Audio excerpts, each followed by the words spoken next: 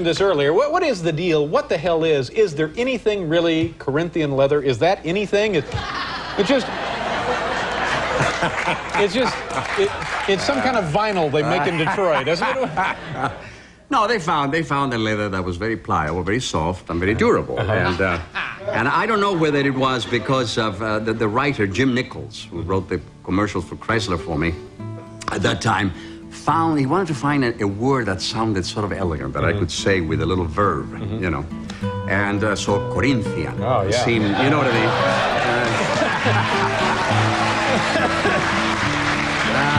but but does it mean anything? Nothing. Cordoba is a city located in southern Spain, with a surprisingly interesting history. A small Roman settlement in the 8th century, Cordoba would eventually evolve into a premier center for education and learning. By the 10th century, Cordoba was the second largest city in Europe.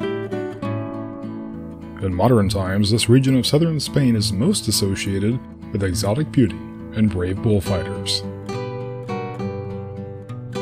This romanticism of the region was particularly evident during the 1970s. Many were desperate to seek refuge from a grim reality of fuel shortages and ever increasing personal and economic uncertainty. The swinging 60s had given way to unexpected challenges. Not since wartime had access to energy and other basic necessities become so scarce. Many folks wandered around with a sense of malaise, daydreaming of simpler times of ages past. Some in the US auto industry realized this was an opportunity to offer products that would evoke images of exotic, faraway places to entice worry prospects. With raw horsepower regulated out of existence by the mid 70s, automakers turned to a theme of personal luxury in various flavors of old world Baroque. One of Chrysler's earliest efforts to introduce such exotic imagery was a trim package available on the 1970 Newports that was christened Cordoba. Aztec was the theme for this earliest of Cordobas, featuring side moldings of a quote, Aztec theme, as well as padded roof material the brochure listed as Espanol vinyl. This one year only trim package proved mildly popular, paving the way for a legend.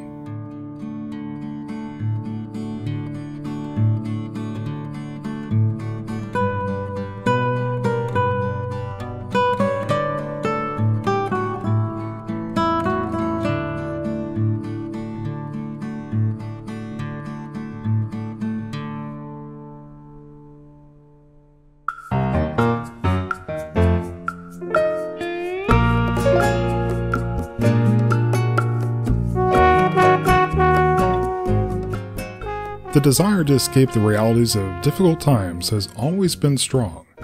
Just as compelling is finding the perfect chariot for such an adventure. The Chrysler Cordoba was introduced in the US for the 1975 model year. It was christened as the new small Chrysler, and indeed Cordoba was 12 inches shorter than its corporate offerings. As with most in the auto industry, Chrysler was in a bit of a panic to downsize, but money was incredibly tight as was usually the case for the struggling brand. But prestige was still important to 70s customers. You wouldn't want to take a family to nail on something anything less than elegant, so Cordoba was infused with a sense of class. One of Cordoba's legendary styling details is the medallion that could be found in the hood ornament and multiple other locations inside and out. Oddly, the origins of this medallion are actually Argentinian, but this was typical of the 1970s automotive styling era, which featured a mishmash of old world European influence, sometimes accurate, sometimes not so much. Regardless of the authenticity of the details, there was no denying the sense of genuine luxury that Cordoba offered, particularly when well equipped. From highly sculptured bodywork to rich interior detailing, Cordoba would quickly become desired for the elegance it provided. Interiors featured rich wood tone trim with filigree scroll detailing, and of course, there was the optional rich Corinthian leather. Though targeted as a higher end offering, Chrysler was careful to provide many features as optional, so those on a budget could still afford Cordoba. A 360 V8 and automatic TorqueFlite transmission were standard, as was a 25.5 gallon fuel tank, which provided a decent driving range, so long as you could find the gas to fill it with. And of course, this was the 70s, so half of the 20 exterior colors were a shade of brown. The accent's on the first syllable. Cordoba. Cordoba. Cordoba. Ta ta ta. Cordoba. Now, Cordoba. So now when I, I said, I said a new car, when I was reading the demonstration for them, I said Cordoba. And they said, no, no, no, it's Cordoba. It is? Yeah, they're telling you. Cordoba. Yeah, But not only, not only Co- Cordoba. So I said, well, at least let me say Cordoba. And they did. Yeah. It was clear by 1976 that Cordoba was a certified phenomenon for Chrysler. With over 150,000 units sold, Cordoba had contributed greatly to the continued existence of the troubled brand. Styling was little changed, which makes sense. After all, the highly sculptured front end with formal chrome grille played a major role in Cordoba's success. This was a look that proved irresistible to many flower powered children of the 60s. It was a look that was distinctive, a break from the dull and ordinary. Cordoba was also practical. Though downsized, a wheelbase of 115 inches did provide enough room for real adults to ride in comfort in the rear seats. Cordoba's combination of style and value was easily marketable, and sales increased to 165,000 units for its second year of production. By 1977, Cordoba's optional Corinthian leather had become the stuff of legend. Though it was really only a marketing term, Corinthian leather did evoke visions of grand adventures of long ago, resulting in many more Cordoba sales for Chrysler. As the 70s drew to a close, the mood had lightened ever so slightly. The flower children movement of the 60s slowly transformed into the equally groovy disco party of the 70s. Cordoba evolved to match the changing times. Interior and exterior fabrics and colors were revised. Instrument panels remained simple and straightforward, with a focus on the driver for most major and minor controls. Though there were a number of warning lights, Cordoba did offer a fair amount of actual gauges, though probably not enough to satisfy John Davis. The 400 cubic inch Chrysler V8 was standard now, while an optional 318 2 valve was also available for those that wanted to save a little on fuel costs. In only three short years, Cordoba was a true winner for Chrysler, with a style and sophistication that truly stood out from the polyester clad crowd.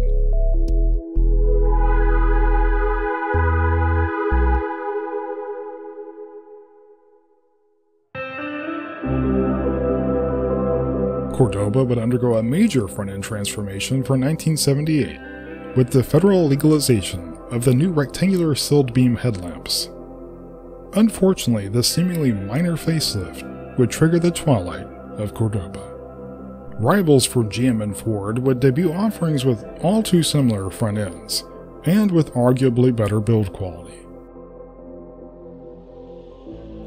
Chrysler would continue to offer interiors that were among the most luxurious of the American brands, but build quality did suffer, and sales would start to slow. Many also viewed the stacked rectangular headlamps as less elegant than the original round design. Though the hood and front end remained heavily sculpted, somehow the magic just wasn't there like it used to be. Interiors were little changed from before. Economy, however, was slightly improved with the addition of a lockup torque converter for the automatic transmission. Rear end styling carried on with a distinctive design that distinguished Cordoba from a slew of corporate cousins. As before, the array of interior and exterior options was impressive. From CB radios to multiple vinyl roof options, Cordoba offered a level of customization that has drifted off into the mists of distant memory.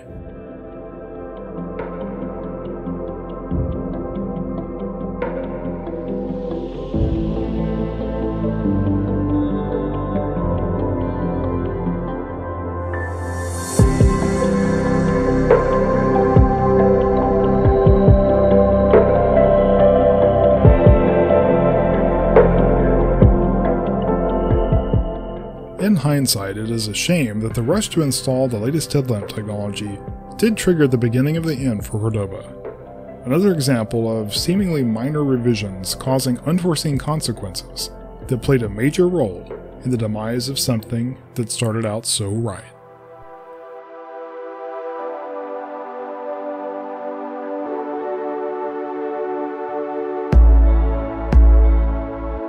The rectangular headlamps did remain for 1979, but the grille was slightly altered, as were other minor details, in an attempt to regain some of the original Cordoba magic. Revised heating and steering wheel selections provided a sportier look, particularly when combined with the T-roof option. opera lights, as well as the now famous medallion hood ornament and deluxe wheel covers continued on for the 1979 model year. New two-tone paint treatments also helped distract from the controversial stacked headlamp design. Corinthian leather remained on offer in fetching shades of red, gray, midnight blue, teal, green, and cashmere. It is interesting to note that Chrysler also introduced a heritage offering in the form of the Chrysler 300. The 300 was a historic nameplate for Chrysler, though it did little to bolster sales in this mildly rebadged form. The 300 exterior differed from its near twin Cordoba primarily by featuring unique grille treatment and body colored trim. By the twilight years of the 1970s, Cordoba could celebrate with the knowledge that it accomplished something truly special. Once again, securing the continued existence of Chrysler. Cordoba was entirely new for 1980, and entirely unrecognizable from the shape that it made it famous. A move to Chrysler's J platform reduced overall length and width considerably. The new crisp, tailored lines disguise the fact that Cordoba was now a derivative of the ancient Volare. Lee Iacocca's transition from Ford to Chrysler during this time is evident in the sharp angles and overall appearance of the second-gen Cordoba. There were now two trim levels on offer, Cordoba and Cordoba Crown, the latter of which featured additional luxury touches, such as a padded landau roof and premier wheel covers. And yes, Corinthian leather seating surfaces were still listed on the list of numerous options. Multiple option packages, in fact, such as a light package and Corinthian Edition package, simplified ordering a personalized second generation Cordoba. Chrysler's venerable 3.7 slant 6 with TorqueFlite automatic was the standard powertrain for 1980. 5.2 and 5.9 liter powertrains were also on offer, for those looking to have just a little more swagger in the long journey to 55 miles per hour.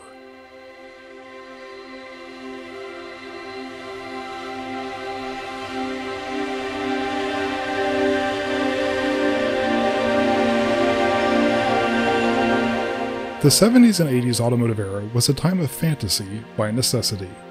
Ever increasing regulations and insurance costs forced the transformation to personal luxury from raw horsepower and raw excitement. The second generation Cordoba exemplified this movement and has been largely forgotten today. Cordoba for 1981 continued with a theme of sharp angled styling that did successfully disguise its ancient platform. The Cordoba LS featured a more aero front end that was surprisingly distinctive from the standard Cordoba both Cordobas featured luxurious interiors that did rival the best of the US offerings. An extensive list of electronic and styling options continued the tradition of the original Cordoba. A revised sport handling package featured heavy-duty sway bars, shock absorbers and torsion bars, and springs as well as wider wheels and tires. By 1982, sales were but a small fraction of Cordoba's glory days the car that had paved Chrysler's way to the 80s was nearing its twilight.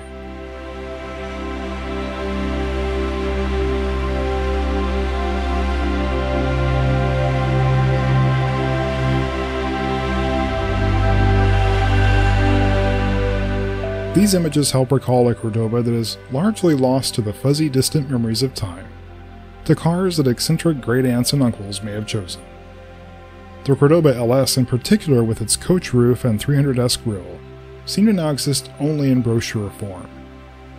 It is for this very reason that I respect this second generation of Cordoba just as much as the first. Though not as well known or as successful, it is incredible to see what Chrysler accomplished with such an archaic platform on a shoestring budget.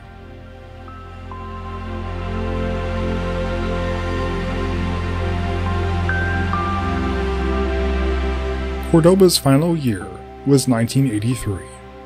Having successfully served its mission, the once proud nameplate would drift off into the ether with little fanfare.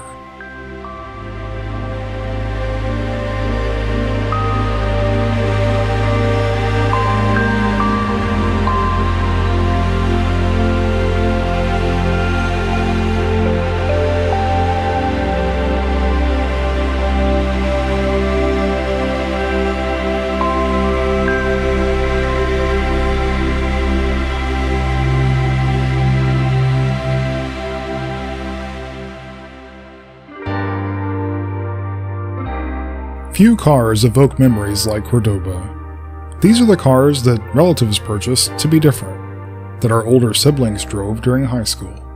A reminder of simpler times. Maybe not better times, but a time that takes us back to our roots. For some, our earliest memories. Cordoba also represents a rare occurrence where a US automaker dared to be different, to embrace a heritage of the unfamiliar, yet fascinating culture. Sure, the jaded modern sensibility may view these efforts as nothing more than trite marketing, but there is no denying.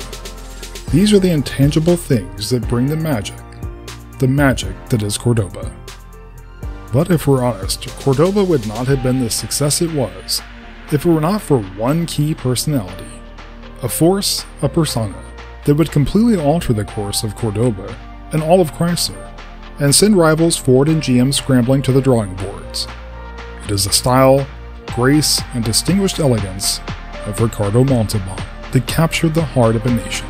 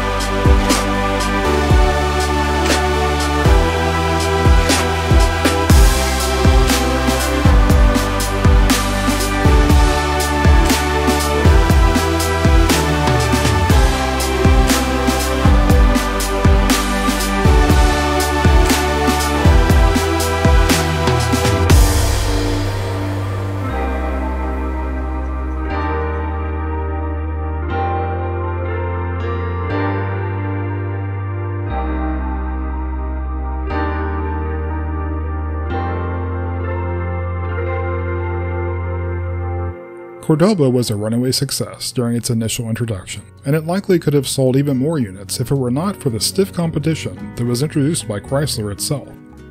Mostly lost to history is the vast array of near clones that Chrysler quickly rushed to market in the hopes of cashing in on an unexpected hit. The B-body platform of the mid to late 70s kinda served as a place where historic nameplates rode off into the sunset. Body and interior styling changes offered by Dodge and Plymouth were little changed from Cordoba. This both saved cost and helped retain a visual connection to the more upscale offering. And while it is a little sad to see the once historic performance icons such as Roadrunner devolve into simple tape and stripe packages, it is fascinating to look back on these variations on a single theme. Nameplates such as Charger carried over the sculpted hood and header panel, causing a bit of cannibalization to Cordoba sales. But Chrysler had little capital to spend on expensive bodywork, so grille variations and sportier wheel and trim packages served as a major differentiation from Cordoba. The B-body would evolve into the early 80s in interesting ways, such as the Dodge Magnum XE, which featured aero front end work and unique character lines along its fenders and door panels. The T-roof and multiple shades of brown interior choices remained on offer right on through to the very end. Dodge and Plymouth also offered variants of the second generation of Cordoba based on Chrysler's J-body platform. The Dodge Mirada featured the crisp styling favored by Chrysler's new president, Lee Iacocca, and successfully obscured an ancient platform in Lincoln-esque clothing. Luxurious interior options attempted to make up for rapidly aging dashboard and door panels that were expensive to redesign. All Chrysler brochures continued to attempt to convince the buying public that quality really was a priority. The ultimate Cordoba sibling arrived on the same J-body platform for 1981, the return of Imperial. But that's a story for another time.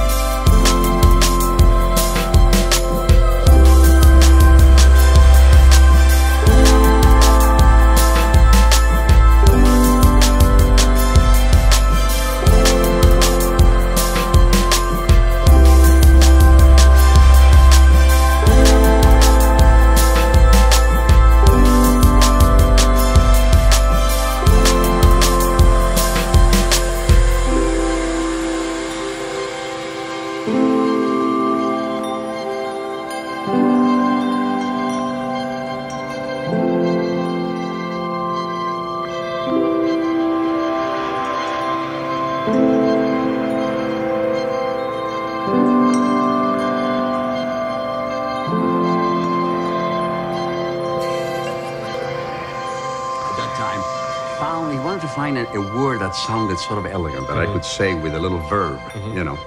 And uh, so Corinthian Oh, yeah. seemed, you know what I mean?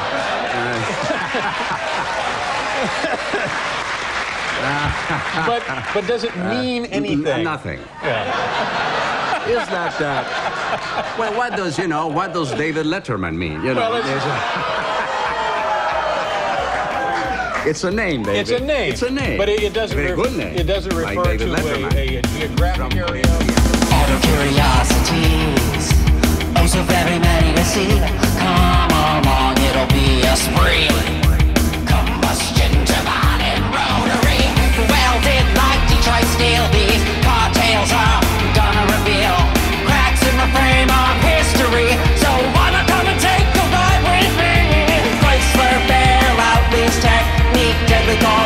suspension very weak. Engine fire, the arrow again.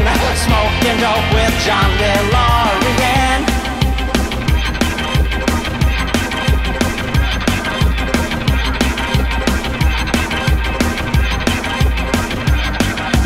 Landing quicker than the planes in Kenosha. Tofer's gone off. What it's like to be at the top.